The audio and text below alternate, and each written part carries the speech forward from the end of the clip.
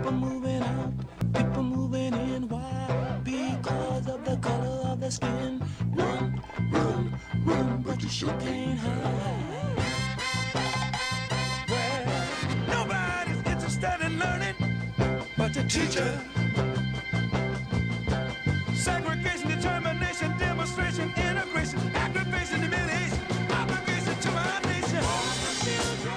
Good morning. Welcome to Detroit Wants to Know. This week we're coming to you from Orchard Maple Family Dental in lovely West Bloomfield. Everybody watching this in a few weeks, if you're a parent, you're going to be enrolling your child in school. There are a myriad of choices from private to public, and in Detroit, you have charters, you have the Educational Achievement Authority schools to help break all this down for us and the myriad of these choices and what's really available to you, I have Dr. Tom Pedroni. He is an associate professor in the College of Education at Wayne State University, our own. Dr. Pedroni, welcome to Detroit Wants you, to Know. Steve. I want to thank you for your research into the Educational Achievement Authority Mm-hmm. and into charter schools. You're the only one that's really been bringing it out there to the forefront. When a parent is looking to enroll their child in either the Educational Authority or a charter school, what are they getting? Right. That's a great question, and I'm so glad that you have me here. One of the roles that I play is I'm the director of the Leonard Kaplan Education Collaborative for Critical Urban Studies. And what we try to do is do a lot of that public work and get it out into the public sphere so that it can become part of the conversation around education, because it's obviously such an important part of the year right now, as you're saying, with parents thinking about where are they going to put their kids this year. There's always so much transition in the educational world. So, what does it mean right now? Well, parents just within Detroit have the choice between the Educational Achievement Authority, Detroit Public Schools, the various charters, and even some of the suburban surrounding districts that are getting supported uh, financially by a lot of kids leaving Detroit, crossing county borders. What's that number, about 20,000 I now? believe it's even higher than that. I think it might be around around thirty thousand. I'd have to double check that, but it's substantial. It is substantial, and it's all per pupil dollars that are leaving the uh, Detroit area. Something to be thinking about in itself. Now, all of this would be, in my view, a worthwhile experiment if it were producing results that clearly showed us that parents were getting something out of it. But the fact of the matter is that I have looked at, and my colleagues have looked at, a lot of the data around performance uh, and uh, financial efficiency. And, and what we're seeing is that people are getting no better results in charters. They're getting no better results in the EAA. In fact, they're getting worse results. And even with those who are migrating across the county lines into the suburbs, students are oftentimes finding out that they feel really isolated and not entirely welcome, which is a really sad thing in some of our suburban districts.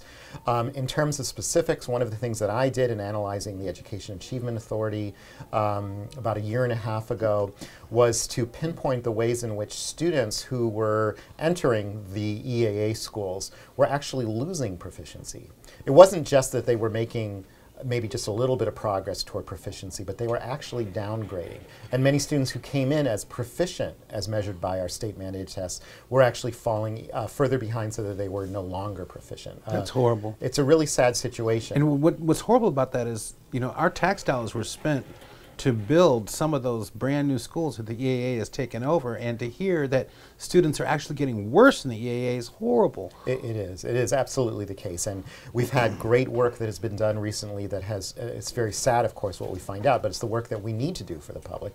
That we know from having to FOIA the EAA, for example, that for the first uh, almost two years of their existence, they've been in existence now this, uh, for three years, um, they did not even have the software ready the Buzz platform ready in such a way that they considered it something that they'd be proud of. And we know that from FOIAing internal documents to the EA and seeing that those who were developing the software that was the core of their curriculum were not ready to put it out to any other district because they said it was basically ha- uh, hack software. So, long story short, what we have in Detroit and around Detroit is a lot of experimentation on mostly African American children. Um, and the underlying theme, whether you're talking about DPS or EA or charters or the suburban districts, this is all about that money that students represent. The per pupil money, and it's largely also about transferring money from public hands into private profit. I want to come back to that in the next segment. Okay. Where can a parent find your report? Uh, is there a website where your Yes. report's available? Yes, I put every. I have a lot of uh, all of my ter- materials, and some of my colleagues' materials are available on a website called uh, it's DetroitDataDemocracy.org. All one word. DetroitDataDemocracy.org. DetroitDataDemocracy.org. ORG. Okay, Yeah. ORG. When we come back, we're going to talk about taking our public dollars and putting it into private hands because you've done a lot of work Mm-hmm. on that. We talked about that uh, briefly off camera. All right. Ladies and gentlemen, we'll be right back with Dr. Tom Pedroni of Wayne State University. And give me that website again. DetroitDataDemocracy.org. Visit that site before you make your choice of where you want to put your child in school. We'll be right back with Detroit Wants to Know. Don't leave. You've got to enroll your kids in a couple weeks.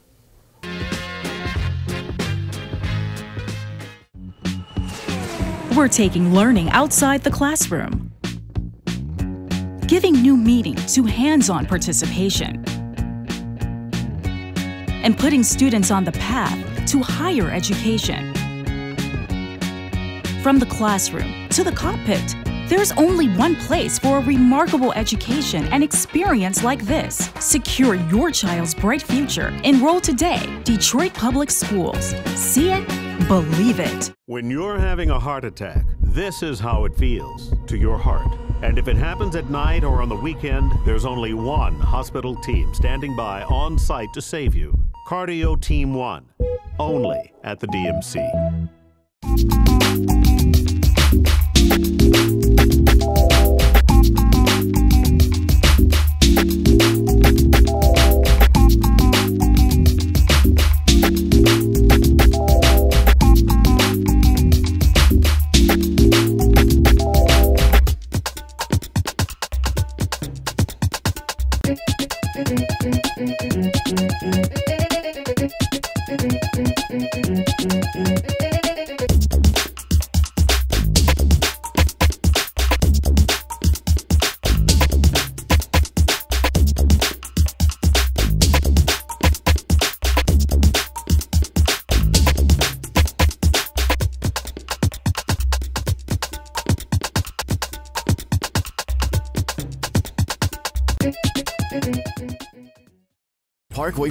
Is your fresh food destination in Detroit at East Jefferson and St. Jean. With a wide variety of meats, chicken, fish, and other healthy choices, Parkway is your fresh food destination. Conveniently located at 11250 East Jefferson in Detroit, Parkway Foods is your answer. Whether you are picking up some quick items or shopping for the family, always fresh and always priced right. Visit Parkway Foods on East Jefferson and St. Jean for all of your shopping needs and check out our fabulous recipes at parkwayfoodsdetroit.com.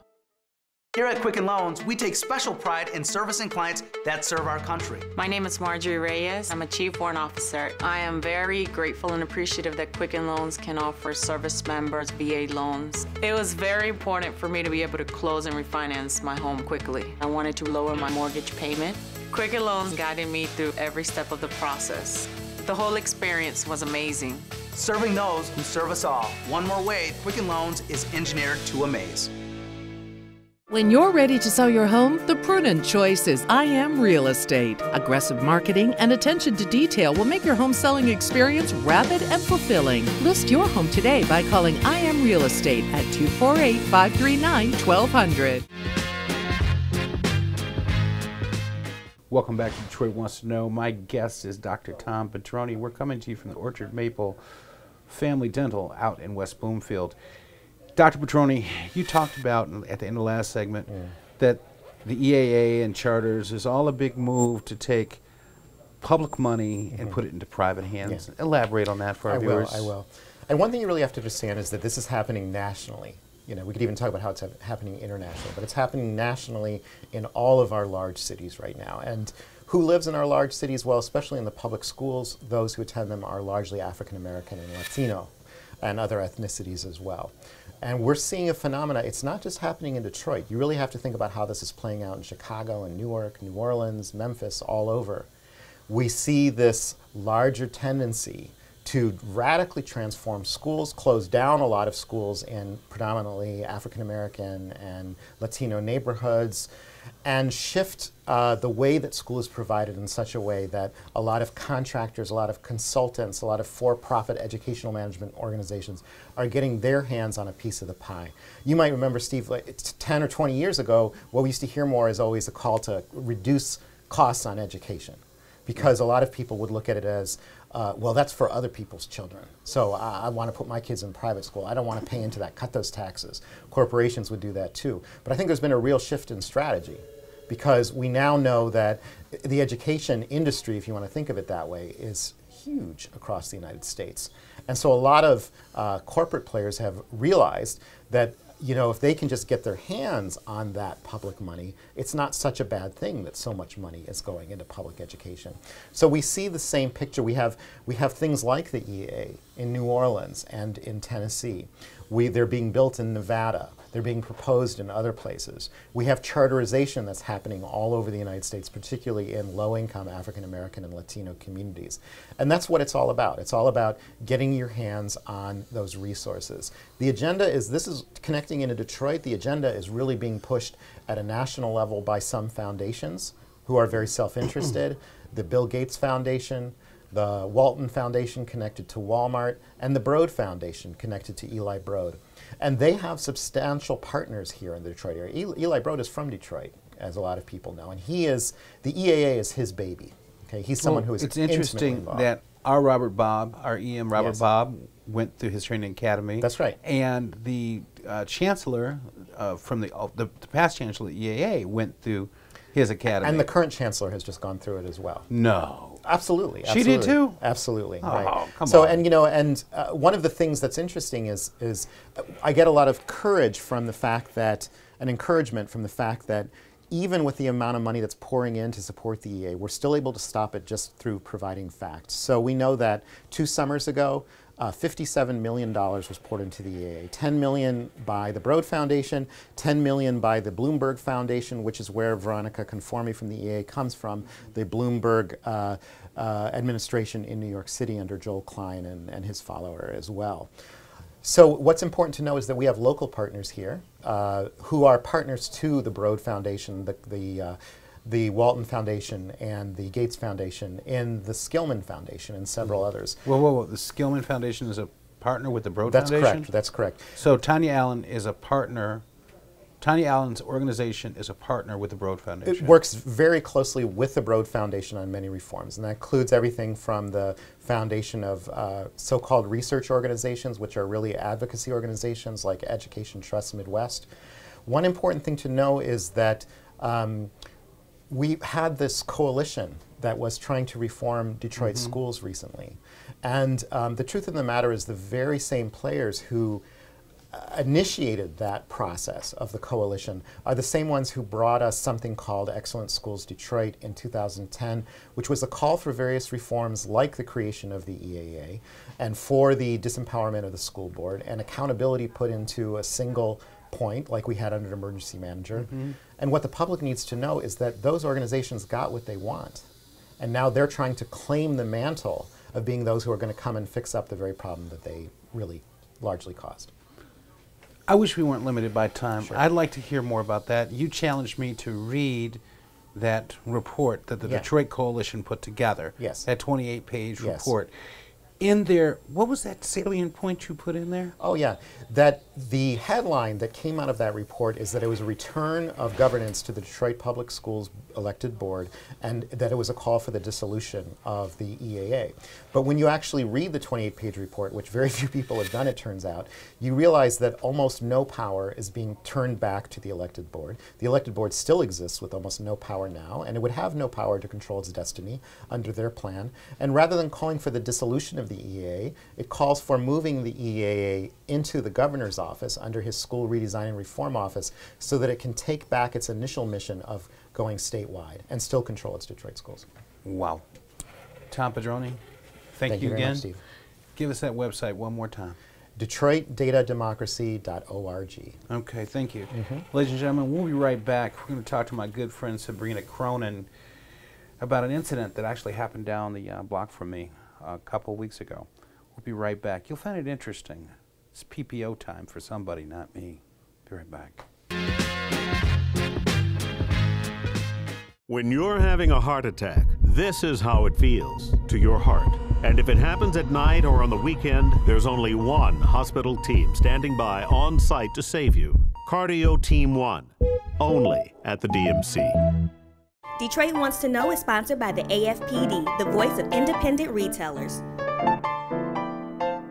Hello, I'm Dr. Shauna Diggs, and welcome to Cosmetic Dermatology. As Michigan's leader in comprehensive skin health and rejuvenation, board certified dermatologist Dr. Shauna Ryder Diggs and the entire cosmetic dermatology team take a caring, customized approach to skin care. The cosmetic derm team effectively treats skin diseases and autoimmune diseases such as lupus. State of the art laser technology is utilized in hair removal, tattoo removal, and skin peels. To learn more, visit our website, Cosmetic Dermatology, where science and beauty meet.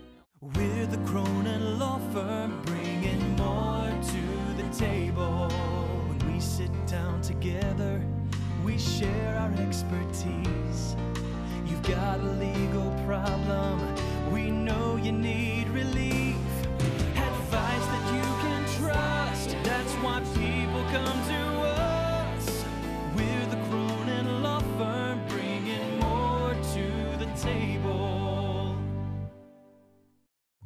Groundbreaking. Life saving. History making. The new DMC Heart Hospital, summer 2014. The beat goes on. Welcome back to Detroit Wants to Know. We're coming to you from Orchard Maple Family Dental Center in lovely West Bloomfield, Michigan. My friends, a couple weeks ago, I was laying in my bed, soundly asleep, and I heard a racket from two houses away. The ex girlfriend of my neighbor had come onto the boat and actually assaulted my neighbor and his girlfriend, and while her friend actually held them down. So she brought her muscle, which is about a five foot five inch woman that weighed reportedly 195 pounds. She beats up the boyfriend. The ex girlfriend beats up the current girlfriend. They rob him and then they shoot it out. Yes, this is in my lovely neighborhood. And I got to thinking, I said, shouldn't that guy had gotten a PPO, personal protection order? So I decided to ask my good friend and sponsor, Sabrina Cronin, about it. Attorney Cronin, there was a wild shootout two doors away. A woman beat up a man. Mm-hmm. A baby D-esque. Did you ever ever see Next Friday? She was just like Baby D. All right. Right. Should the guy have gotten a PPO against his ex-girlfriend? Well, in that instance, the one you just described, there were several crimes committed, and the police should have been called.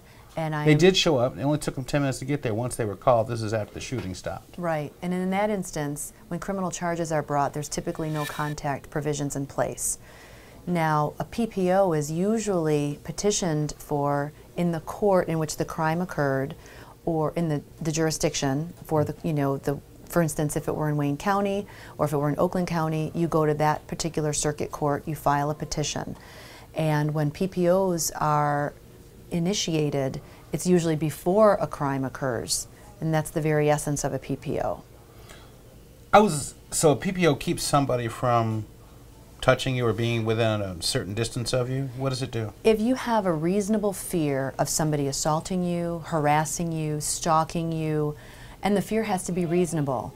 For instance, if you had a domestic relationship with somebody and you are no longer in that relationship and you fear that they will be assaulting you or they are going, you know, crazy over you and calling you incessantly, threatening you, threatening that if you don't get back together with them, then they will harm you in some way, then yes, file for a PPO. And if you feel as though by that person knowing that you filed for the PPO, then that's going to incite them even further. Then you want to get that PPO heard ex parte, which means immediately without the presence of that other person. And oftentimes the court will award and uh, grant the PPO. I argued with a good friend of mine yesterday. I told her about this segment coming up, and she said a PPO isn't worth the paper that's written on. What happens when somebody violates a PPO? Then you have to do your due diligence, call your local police, say that this person violated the PPO and the protections afforded me from the PPO, and then oftentimes that person who violated will be charged with stalking. Stalking. Or violating the PPO, yes. And, and then it becomes more criminal in nature. Now, you mentioned cyber stalking earlier. What in the world is, world is cyber stalking? Cyber stalking is something that's happening more and more these days, and it's when people post things on social media through Facebook, Twitter, Instagram. They are either threatening you or doing things that are oftentimes, you know, you hear the word creepy now, you know, if they're, they're creeping on you and they're they're showing pictures of you that you were never in those places and so they're photoshopping you in places with them or they want to you know be in a relationship with you and you have no idea who that person is or they're saying they're going to come to your work or be at your home you know that is cyber stalking and if two or more incidences of that take place then yes you have grounds to file for a PPO okay so one quick question before we go to break. Is it easier to file a PPO in Wayne County or in Oakland County? You know, that's the never ending question, and sometimes it just depends on the judge or the visiting judge who sees the actual petition for the PPO. And I always tell my clients if they want a PPO, it's often better to make sure your stories are very detailed, the dates of the alleged incidences, if you have a police report that you can attach or a police report incident number that you can attach to the petition for the PPO, you are usually more successful in getting the PPO granted. Um, it, it, honestly, it just depends. So, in terms of the process, is it easier in Oakland County than it is in Wayne County? It's a very similar process. You can even do. You can even fill out the petition online. Oh, really? Yes, and then you can bring it to court, uh, and then you wait and again, if you want something heard immediately and you want the ex parte PPO granted, then it's usually you're there for a few hours. Okay. Mm -hmm. How can people contact you? They can call uh, 855 Call Cronin uh, or check out my website, callcroninlaw.com. Okay. You're going to come back uh, later this month? I will. We're going to talk about DUIs. Okay. We're going to do it. All right. Ladies and gentlemen, we'll be right back. And we're going to talk to Dr. Woodruff about getting your kids ready for schools and this proprietary smile technique he has. I can't wait to see that. Stay tuned to Detroit Wants to Know. We'll be right back. Parkway Foods is your fresh food destination in Detroit at East Jefferson and St. Jean. With a wide variety of meats, chicken, fish, and other healthy choices, Parkway is your fresh food destination. Conveniently located at 11250 East Jefferson in Detroit, Parkway Foods is your answer. Whether you are picking up some quick items or shopping for the family, always fresh and always priced right. Visit Parkway Foods on East Jefferson and St. Jean for all of your shopping needs and check out our fabulous recipes at parkwayfoodsdetroit.com. Find your path to success at Wayne County Community College District. From high tech facilities to experienced instructors to a range of programs that give you the skills you need for in demand jobs. Everything you need to jumpstart a new career or advance your education is at a campus near you. And we're here to support you every step of the way. So why wait? Register today.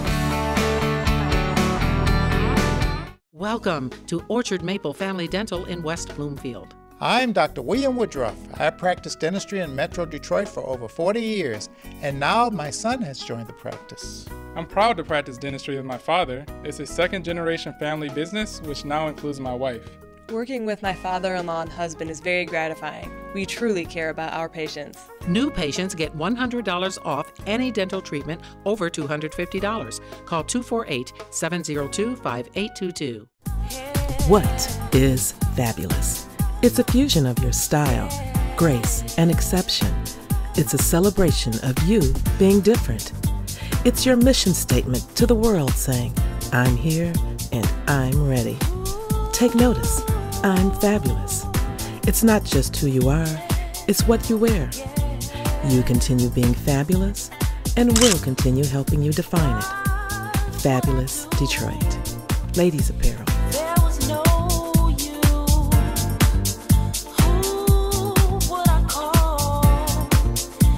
Available at Simply Casual in Detroit in Dulce Moda in Royal Oak and online at fabulousdetroit.club.